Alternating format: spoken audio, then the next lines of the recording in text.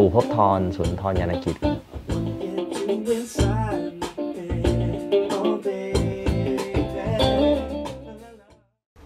Hello. Kevin, say what's up. What's up?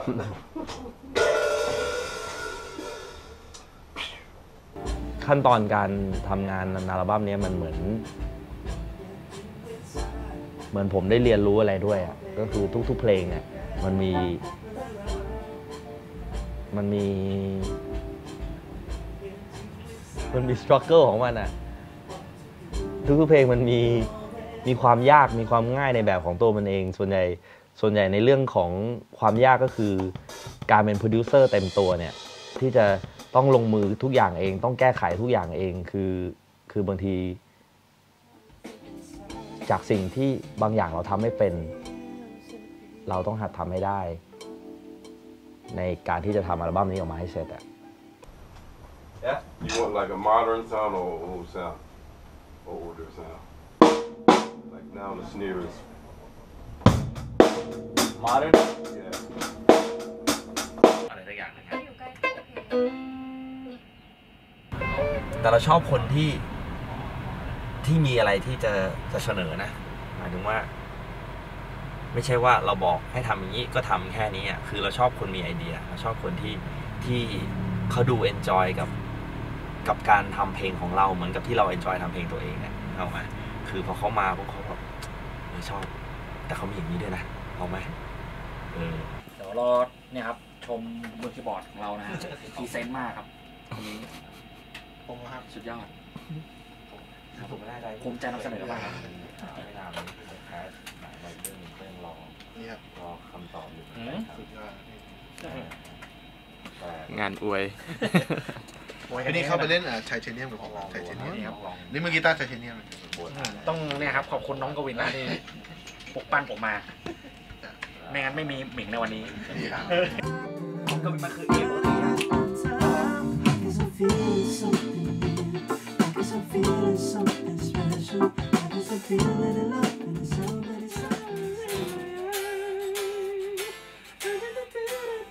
ชอบอย่างนี้ว่ะ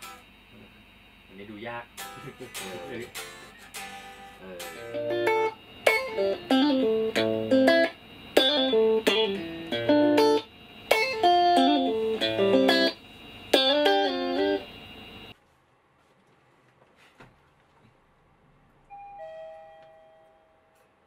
จริงๆมันเป็นที่ไปพัทยาซึ่งซึ่งเป็นเป็นนิติแล้วใช่ไหมครับเสร็จแล้วครับพี่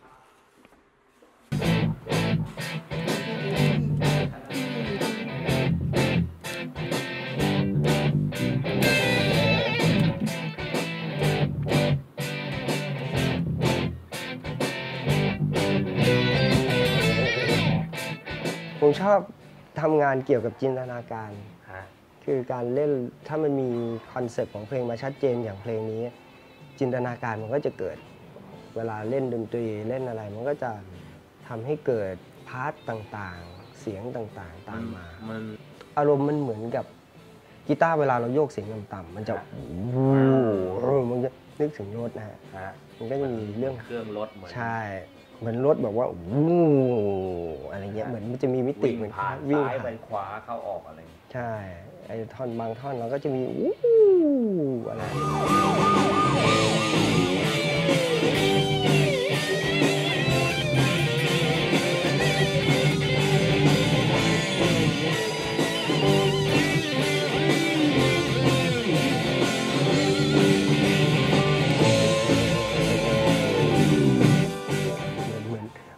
สียงต่ำอะโน้ตต่ำที่บอกตุ้มเหมือนตุ้ม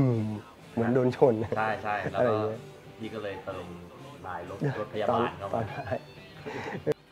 หนึ่งเก้าหนึ่งครับ ผมเขาแจ้งความผมถูกผู้หญิงมาชนแล้วทิ้งหลอกรักให้ชิ่งโปรดช่วยติดตามหน้าตาเธองาม รูปร่างเธอส่วนดี กอล์ฟเองเขาก็จะมีวิธีวิธีพูดวิธีอะไรที่ต่างมุมจากผม ซึ่งผมเองอาจจะพูดในมาในเรื่องแบบหนึ่งแต่ว่ากอล์ฟนี่เขามาแบบ ในมุมที่มันดาร์กกว่าเราเขามองว่าว่าตัวเขาเป็นรถยังไงอยู่ในสภาพแบบไหนที่โดนผู้หญิงคนนี้เข้ามาชนเนี่ยนึกออกไหมมันก็จะเป็นต่างมุมมองอย่างของของผมอาจจะร้องว่า โดนชนแล้วหนีไปจะเป็นจะตายไม่เป็นไรแต่เขาก็มาอธิบายให้ให้ลึกลงไปอีกว่าว่าเข้ามาชนเนี่ย บางโคนกระจายล้อหน้ากระเด็น คือ มันกลายเป็นมันกลายเป็นเรื่องเล่าที่แบบว่า ยิ่งแบบยิ่งชัดขึ้นอะ โอ้โอ้โอ้โอ้เนี่ยก็พอจะทำเสียงนี้ได้ไหมโอ้โอ้โอ้โอ้พี่เออ มันจะมีสองจริง ๆ ไม่น่าจะเป็นฮัลโหลนะพี่พี่ตู่น่าจะเป็นแบบว่า แบบฮัลโหลแบบเพราะเพราะผมว่ารับโทรศัพท์อะไรนี่น่าจะเป็นเสียงแบบ โอ้โอ้โอ้โอ้ตรงนี้มันน่าจะกริ้งกริ้งแล้วเป็นเสียงยกหูโทรศัพท์ครึกขึ้นมา อย่างเงี้ยแล้วมันหนึ่งเก้าหนึ่งครับอย่างเงี้ยใช่เออ เออดีนะพี่ผมว่าไม่ไม่ไม่ต้องใส่เสียงไม่ต้องมีไม่ต้องมีใช่แล้วเป็นเสียงโอ้กโหริ้งกริ้งแล้วครับสองกรึกขึ้นมาอย่างเงี้ยแล้วหนึ่งเก้าหนึ่งครับ เออ ต้องโทรต้องรอโทรไปหนึ่งเก้าหนึ่งอะนั่นแหละนั่นแหละว่าเขาพูดว่าอะไร ใช่แล้วพี่ก็แจ้งความเลยนั่นแหละนั่นแหละพี่ผมว่าใส่ sound แบบมันแบบว่ารับโทรศัพท์เออฮัลโหล อ่า ฮัลโหลแล้วก็หนึ่งสวัสดีค่ะหนึ่งเก้าหนึ่งค่ะอะไรอ่าอย่างเงี้ยครับนะครับเอออะไรอย่างนั้นนะจินตนาการเรายิ่งไปไกลอะพอเราได้ทำงานกับกับคนอื่นที่ที่เขามีไอเดียเยอะๆอย่างเงี้ย เราก็จะเริ่มเอาเสียง เอาเสียงรถมาใส่ในเพลง เอาเสียงหวอมาใส่ในเพลงอ่ามีเสียงออ p เปอเรเตอร์ตำรวจหรืออะไรก็แล้วแต่เนี่ยคือมันมันยิ่งฟุ้งไงแล้วมันทำให้ทำงานสนุก เป็นแบบว่าสไตล์แบบ R&B แบบ ไทยๆครับ แล้วแกเป็นเป็นคนที่แบบเขียนเนื้อได้แบบว่า ถ้าเป็นผู้หญิงมันจะจักรจี้ครับแบบอืมน้ำเสียงพี่ตู่นี่ฟังแล้วแบบขยุ่มขยี้อยากกินเบียร์เลยเนี่ย ก็รู้สึกว่าเหมือนเหมือนเทวดากับพญามารครับ รู้สึกว่าเสียงแกจะแบบว่า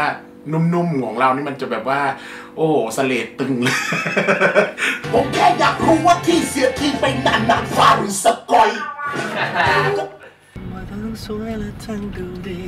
โดยไม่ต้องซ้อมอะไรก็เซ็กซี่แค่เธอเป็นตัวเองเท่านั้นแค่เป็นเธอคนนี้มันดี แล้วเธอไม่ต้องลดต้องเพิ่มอะไร อยากขอให้มั่นใจ You're the only girl in my eyes อยากให้รู้ไว้คนเดียว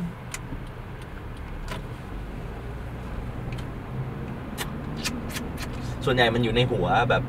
เวลาที่พี่ตู่นั่งอย่างเงี้ยเราก็ นั่งคุยอะไรกับนุชก็แล้วแต่ถ้าเป็นอยู่ในช่วงทำเพลงนะ นั่งอยู่ดีๆก็เคาะเคาะจังหวะอะไรก็รู้เหมือนคนบ้ามีการโดยเคาะไหมล่ะโดยที่ โดยที่คนอื่นไม่รู้ว่ากำลังเกิดอะไรขึ้นในหัวเราอยู่ดีๆ แล้วก็ปากขมุกขมิบแล้วก็แล้วก็เคาะจังหวะ เป็นอย่างเงี้ย ในช่วงในช่วงทำอัลบั้มเนี่ย สมมุติว่ากำลังเร่งอยู่เดือนสุดท้ายอย่างเงี้ยในหัวก็จะมีแต่เพลงตลอด เป็นช่วงที่ไม่ค่อยน่าคบหาเท่าไหร่ So uh, you listen to to feel the tracks we're gonna be recording today. Uh, are they hits Big hits in this country? all over the world. คือทุกคนต่างเป็นเหมือนเหมือนเขาเรียกว่าอะไรอะสมมุติว่าภาพมันเป็นกำแพงใหญ่ๆอย่างเงี้ย มันเป็นเรา วางคอนเซปต์ไว้คร่าวๆว่ารูปทั้งหมดเราอยากได้รูปอะไร แต่ละคนก็มาแต่งเติมใน part ของตัวเอง จนมันออกมาเป็น mural ใหญ่ๆอะมันเป็นเป็นจิตรกรรมฝาผนังใหญ่ ๆ อย่างเงี้ยที่ทุกคนมีส่วนร่วม สามารถหลอกล่อกวินนะครับ มาทำงานด้วยได้นะครับ หวังว่าพี่หลอกล่อผมแล้วกันผมไม่ได้หลอกล่อพี่ไม่รู้ไม่รู้กันผมหลอกล่อพี่เล่นแบบแย่เลยโอ้เท่เท่เท่กวินเล่นเท่มากเลยต้องลองดูผมทำให้ดีที่สุดครับผมครับ ขอบคุณครับ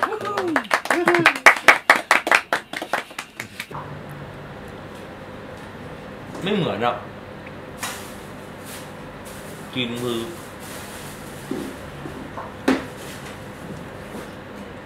กินกินคือต้องกินไงเพื่อใช้ชีวิตดนตรีเนี่ย มันเป็นสิ่งที่ คนอาจจะคิดว่า เออเรามันมันไม่ได้เป็นปัจจัยในการดำรงชีวิตอย่างเช่นไม่ไม่เหมือนอากาศที่เราต้องหายใจไม่เหมือนว่าเราต้องมีบ้านที่อยู่อาศัยหรือเสื้อผ้าเครื่องห่มอะไรเงี้ยแต่จริงๆแล้วมันอยู่กับเราตลอด เพลงมันคือดนตรีมันคือซาวด์แทร็กของชีวิตอะคือทุกทุกช่วงชีวิตเรา เราจำได้ตลอดว่าช่วงชีวิตนี้ตอนเท่านี้เท่านี้ขวบ ฟังเพลงอะไรนะช่วงนั้นพอพอช่วงเริ่มเริ่มวัยรุ่นหน่อย เริ่มฟังเพลงหน่อยเราฟังเพลงอะไรนะช่วงนั้นพอเราเริ่มโตหน่อยหรืออะไรเงี้ยหรือช่วงชีวิตที่กำลังอกหักกำลังเศร้า เราฟังเพลงอะไรนะช่วงนั้น ผมว่าทุกคนจำได้แล้วแล้ว Music from another room เนี่ยมันก็มันก็คือความหมายมันคืออะไรประมาณนั้นนะ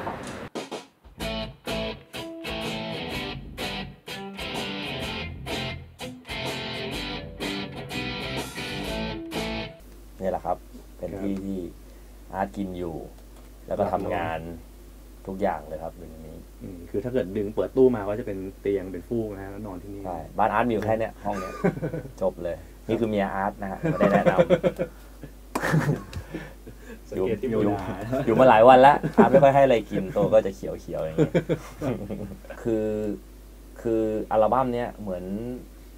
เรา เป็นอัลบั้มแรกของเราที่เราทำทุกอย่าง หมดขนาดเนี้ยคือเพลงส่วนใหญ่แล้วเราทั้งทั้งโปรดิวซ์เองทั้งทั้งแต่งเองแล้วก็อ่าเขาเรียกว่ากระจายงานยังไม่ค่อยเป็นด้วยแหละอืมบางทีบางทีบางอย่างเรายังคงนั่งนั่งทำเองเอง เราก็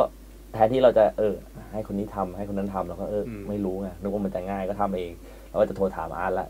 เอ้ยอืมอาร์ตมีโปรแกรมนี้ปะวะเฮ้ยอาร์ตใช้โปรแกรมนี้เป็นปะวะเฮ้ยอาร์ตอ่า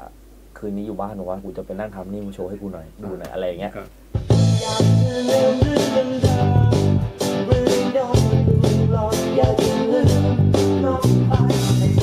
ก็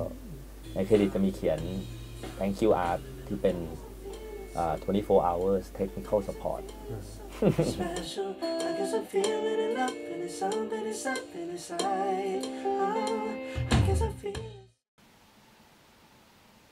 สำหรับคนฟังนะอาจจะไม่ได้ฟังแล้วรู้สึกว่า เอ้ยอัลบั้มนี้มันดีที่สุดเลยว่ะในชีวิตที่เขาเคยฟังมาหรืออะไรก็แล้ว แต่ แต่มันคือสำหรับสำหรับตัวเรานะณโมเมนต์นี้ของชีวิตเราเนี่ย นี่คือสิ่งที่ที่เราอยากจะนำเสนอที่มันเป็นเป็นตัวเราอะได้ชัดมากที่สุดนะตอนนี้ จากนี้ไปอัลบั้มหน้าต่อไปจะเป็นไงก็ ก็คงจะมีความเปลี่ยนแปลงกัน ที่เราจะโตขึ้นเรื่อยๆในด้านในด้านของเนื้อหาในด้านของของชิ้นงานเองอะไรเงี้ย